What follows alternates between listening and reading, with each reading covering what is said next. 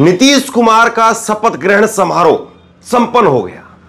लेकिन सबसे बड़ा सवाल आज की तारीख में यह है कि क्या नरेंद्र मोदी जी ने यह वाकई बहुत महँगा सौदा कर लिया?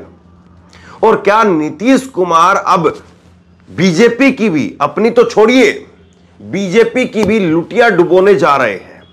और इसके कई बड़े कारण हैं, जो एक एक करके मैं आपके सामने रखूँगा। यहाँ पटना में, बिहार में मैं मौजूद हूँ। कल जो कुछ हुआ राजभवन के अंदर, वो तो मैंने देखा ही। लेकिन उसके बावजूद यहाँ की आबो हवा में जो कुछ महसूस कर पा रहा हूँ, यहाँ की राजनीति को जो कुछ पढ़ पा रहा हूँ, वो मैं आपके सामने रखूँगा। और क्या बड़े ऐसे कारण हैं, जिसकी वजह से साफ़ तौर पर यह कहा जा सकता है कि कहीं ना कहीं नरेंद्र मोदी जी ने महँगा सौदा कर लिया। देखिए, बिल्कुल साफ़ है, लोग इस बात को खुल करके कह रहे हैं कि नीतीश कुमार ने दबाव में आकर के समझौता किया है।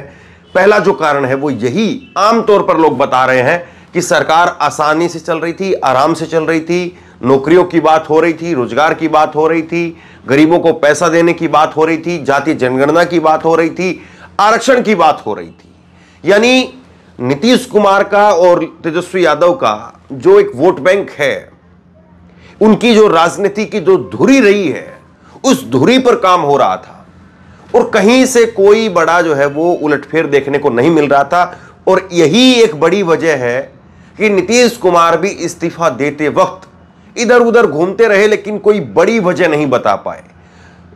अब नीतीश कुमार के खेमे की तरफ़ से कभी राम मंदिर को लेकर के चीज़ें थोड़ी थोड़ी आगे करके दिखाई जा रही हैं कि ये वजह थी।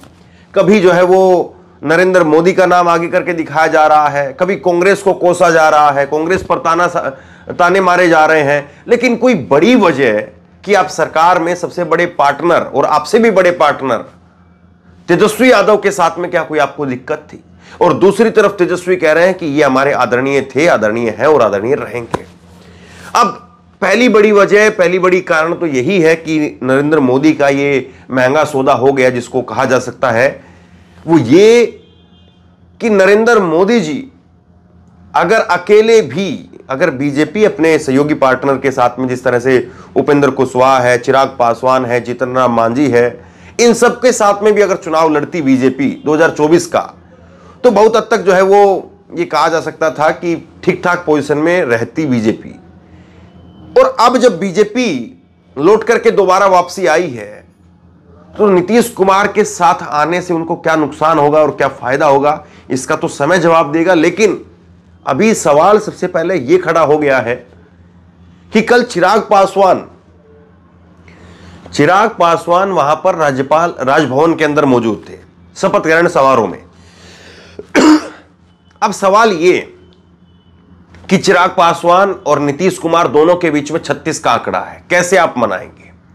जीतन राम मांझी को एक तरह से अपशब्द नहीं, बल्कि अगर ठेठ देहाती भाषा में कहें तो गालियाँ तक दी गई नीतीश कुमार के द्वारा। कैसे आप मनाएँगे? उपेंद्र कुशवाहा, नीतीश कुमार को कोसते कोसते और नीतीश कुमार के खिलाफ न जाने क्या क्या बोलते बोलते अलग हुए और अलग होकर के पार्टी बनाई और नीतीश कुमार और उपेंद्र कुशवाहा के बीच में आज किस तरह का आंकड़ा है? कोई क्या कह सकता है? तो अब सवाल यह है कि बीजेपी ने नीतीश कुमार को अपने खेमे में ला करके न केवल वैचारिक रूप से एक ये द्वंद्व शुरू कर दिया है पार्टी के अंदर या खेमे के अंदर या एनडीए के अंदर, बल्कि अब सवाल यह है कि सीटों में कैसे बंटवारा होगा? क्योंकि ये अब हम ये बात करें कि नहीं, वो पंद्रह बीस दिन की बात, बाद की बात है या और पच्चीस दिन बाद की बात है या एक महीने, दो महीने बाद में जो है ये परिस्थितियाँ पैदा होंगी। बिल्कुल नहीं। जब ये बंटवारा हुआ, जब ये सौदा हुआ, तभी तब सब कुछ तय कर लिया गया होगा कि चिराग पासवान उनको कैसे मनाएँगे। क्योंकि कल जो शपथ हुई है, उसमें सम्राट चौधरी और विजय सिन्हा, बीजेपी की तरफ़ से डिप्टी सीएम बन गए। आठ मंत्रियों को भी शपथ दिलवाई गई। और जीतन राम मांझी के चार विधायक हैं, दो को अपने कोटे से वो मांग रहे हैं। उनको भी दो देना है। तो यह सवाल है कि अब चिराग पासवान, उनके पास विधायक नहीं, लेकिन चिराग पासवान क्या करेंगे? वो ज़ाहिर सी बात है, वो लोकसभा के अंदर दावेदारी ठोकेंगे। और कल चिराग पासवान जेपी नड्डा के ठीक बगल में बैठे हुए थे। तो बहुत कुछ संकेत है। एक तरफ़ जो है नीतीश कुमार और एक तरफ़ चिराग पासवान। और नीतीश कुमार और चिराग पासवान 2020 के लोकसभा चुनाव को विधानसभा चुनाव को याद कर लीजिए। नीतीश कुमार और चिराग पासवान के बीच में जो बातचीत चली और उसके बाद में कभी बातचीत ही नहीं हुई। तो यह सवाल है कि कैसे जो है वो इन सारी चीज़ों को बीजेपी एकजुट करेगी, एक प्लेटफॉर्म पर लेकर के आएगी। ये और तीसरी बड़ी बात, नीतीश कुमार खुद गिर गए हैं। सामाजिक मुद्दे के ऊपर नीतीश कुमार गिर गए हैं। और कैसे गिरे जरा समझिए इस बात को। देखिए, बिहार के अंदर जाति जनगणना हुई। और फिर उसके बाद में सबने इस मुद्दे को पकड़ा, कैच किया। कांग्रेस ने जगह जगह पर इस मुद्दे को कैच किया, चुनावी मुद्दा बनाया कि जहाँ पर हमारी सरकार है, वहाँ पर हम जाति जनगणना कराएँगे और जहाँ पर सरकार आएगी, वहाँ पर कराएँगे। अब सवाल यह है कि जो सरकार अभी केंद्र में बैठी हुई है और जब पूरी विपक्ष की तमाम पार्टियाँ, चाहे वो अखिलेश यादव हो, चाहे वो जो है कांग्रेस पार्टी हो चाहे वो और क्षेत्रीय अन्य पार्टियाँ हो, चाहे दक्षिण भारत की पार्टियाँ हो, जब सब बात कर रहे हैं जातीय जनगणना होनी चाहिए, और नरेंद्र मोदी जो कि केंद्र की सत्ता में बैठे हुए हैं तो सवाल यह पूछा जाएगा कि नीतीश कुमार अब इस मुद्दे पर क्या बोलेंगे? जब जातीय जनगणना का मुद्दा लोगों के बीच में आएगा, जब जातीय जनगणना का मुद्दा जब चुनावी भाषणों में उछाला जाएगा कि देखिए हमने पहली बार सत्रह साल की सरकार में, सत्रह महीने के अंदर, सत्रह साल की सरकार बीजेपी की और एनडीए ये इसकी, नीतीश कुमार की रही। लेकिन वो काम नहीं हो पाए जो काम हमने सत्रह महीने में कर दिए। और तेजस्वी यादव ने कल इन सारी चीज़ों का ज़िक्र किया। तेजस्वी यादव ने कहा कि जो काम ये सत्रह साल में नहीं कर पाए, हमने सत्रह महीने में कर दिए। और तेजस्वी यादव अभी जो कूल बॉय के तौर पर दिख रहे हैं, ये लोगों को हैरान कर रहा है, परेशान कर रहा है। कि इतने शांत कैसे हैं? कुछ तो उल्टा सीधा बोलना चाहिए था, जिससे बीजेपी को या जेडीयू को कुछ मदद मिल जाती काउंटर मिल जाता और फिर उसके बाद में उस पर अटैक किया जाता। लेकिन वो तो कह रहे हैं पहली लाइन में कि हमारे आदरणीय थे, आदरणीय है और आदरणीय रहेंगे। वो हमारे अभिभावक हैं। मैं कभी उनके प्रति जो है द्वेष नहीं रखूँगा। ये कल का तेजस्वी यादव का स्टेटमेंट है। मैंने कल भी आपको सुनाया था।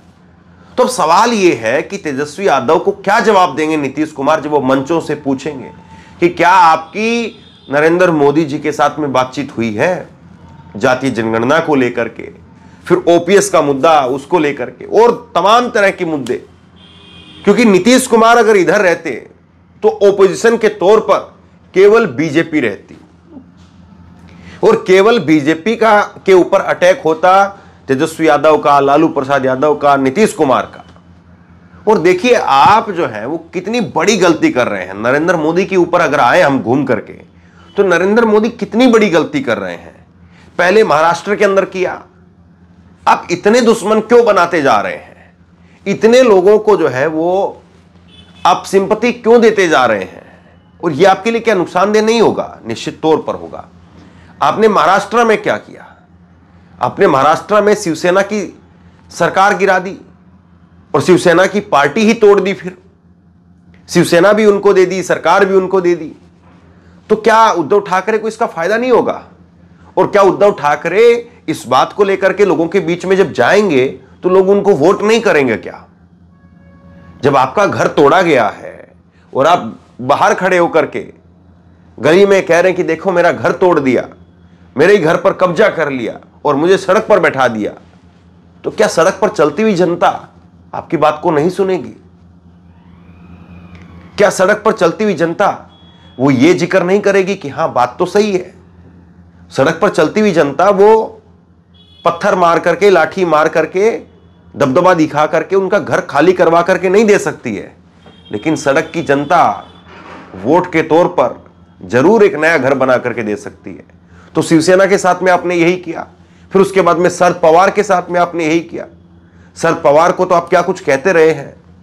राजनीति उनसे सीखी, उंगली पकड़ करके सीखी, ये किसके बयान रहे हैं? तो यही सारा काम आपने शरद पवार के साथ किया। और शरद पवार के बाद में आज यही काम आपने लालू प्रसाद यादव के साथ कर दिया। और लालू प्रसाद यादव अभी तक इस पिक्चर में नहीं आए हैं। ये जो सरकार गिरी है, सरकार बनी है, इस पिक्चर के अंदर लालू प्रसाद यादव नहीं आए हैं। जब लालू प्रसाद यादव इस पिक्चर में आएँगे, तब ये पिक्चर और साफ़ हो जाएगी। ये पिक्चर और क्लियर हो जाएगी। और तब जाकर के चीज़ें कुछ और जो है वो बेहतर ढंग से समझ में आएँगी कि हाँ, ये जितना आसान समझा जा रहा था, वो इतना आसान नहीं है। और तीसरी बड़ी बात यह है कि नीतीश कुमार को लेकर के लोग बिहार के, मैं देख रहा हूँ, बात कर रहा हूँ, लगातार मैं यहाँ पर हूँ। तो मैं बात कर रहा हूँ तो लोग कह रहे हैं कि यार ये क्या कर दिया है? मतलब लोग अभी सच सच में इससे परेशान दिखाई दे रहे हैं। सच में। लोग कह रहे हैं कि नहीं, ये अटपटा हो गया है। जो पढ़ा लिखा युवा है, वो कह रहा है कि बाहर कहीं पर बात करेंगे तो नीतीश के नाम पर जो है हमें गालियाँ मिलेंगी। लोग कहेंगे कि अरे तुम वही नीतीश कुमार बार बार पलटू राम पलटू राम तो पलटू राम पलटू राम कहकर के लोग हमें गालियाँ देंगे। और एक बड़ा डर भी है लोगों में। युवाओं में एक बड़ा डर है। और वो बड़ा डर ये है, जिसका कल मैंने ज़िक्र भी किया। लोग मुझसे ऑन द कैमरा आकर के इस बात को कह रहे थे। और मैंने वो कल दिखाई भी आपको तस्वीरें। ऑन द कैमरा लोग इस बात को कह रहे हैं कि ये जो नई सरकार आई है, क्या पुरानी जो भर्तियाँ निकाली गई या पुरानी जो भर्तियाँ, भर्ती प्रक्रिया चल रही है, उसमें अड़ंगा नहीं लगाएगी? और जो पुरानी भर्ती प्रक्रिया चल रही है क्या उनको नियुक्तियाँ मिल जाएँगी? ये बड़ा सवाल है, ये बड़ा डर है लोगों के अंदर। क्योंकि लोग रोज़गार के नाम पर यकीन नहीं कर पा रहे हैं एनडीए के ऊपर। क्योंकि एनडीए की तो सरकार रही ही। लेकिन आप बताइए कि क्या बिहार में रोज़गार मिल रहा है? ऐसी खबरें दिल्ली तक आ पाई। दिल्ली तक यह आता रहा कि छठ पूजा में ट्रेन पर इतनी भारी भीड़ है। तो यह सब कुछ क्यों होता रहा? क्योंकि बिहार की जनता रोज़गार के लिए बाहर भागती रही। और वो फिर अपने त्योहारों पर जब घर आते हैं तो सरकारें जो हैं, वो ट्रेनों का इंतज़ाम तक नहीं कर पाती है। एक दिन के लिए उन बिहार के लोगों को नहीं संभाल पाती है। जो बिहार के लोग तीन सौ पैंसठ दिन बिहार से बाहर रह करके कमाते हैं और बिहार में पैसा भेजते हैं। लेकिन बिहार की सरकार एक दिन के लिए उनका इंतज़ाम नहीं कर पाती है। कि वो ठीक से आ जाएँ और ठीक से वापस चले जाएँ। इतना भी नहीं हो पाता है। तो ये सवाल है कि नीतीश कुमार से अब जातीय जनगणना को लेकर के नरेंद्र मोदी के हवाले से सवाल पूछे जाएँगे कि आप ये बताइए कि नरेंद्र मोदी को आप क्या कहेंगे जातीय जनगणना के मुद्दे पर, आरक्षण के मुद्दे पर? जो काम यहाँ पर सरकार में हो रहा था, महागठबंधन की सरकार में हो रहा था, क्या वो काम आप बीजेपी से करवा पाएँगे? तो ये सवाल है। और नीतीश कुमार अब एक तरह से उनकी जो है वो जो राजनीति थी या उनका जो वोट था, वो पहले से ही आप देखिए ग्राफ कितना नीचे गिर गया है। इस बार के चुनाव में तीसरी पार्टी रहे वो। पहले नंबर पर आरजेडी, दूसरे पर बीजेपी और तीसरे नंबर पर, तीसरे नंबर पर जो है वो इनकी पार्टी। अब ऐसे में हो सकता है कि अगले चुनाव में ये और 15-20 सीटों की पार्टी बन करके रह जाए। कि 15-20 सीटें जो है केवल इनकी आई और उसके बाद में बीजेपी जब तक इनको रखेगी तब तक ज़रूरत है। लेकिन अगर 15-20 सीट आई तो बीजेपी हो सकता है तभी अपना मुख्यमंत्री बैठा दे। और लोग तो ये भी कह रहे हैं कि चार महीने के लिए तो कहीं मंगनी नहीं हुई है, चार महीने के लिए।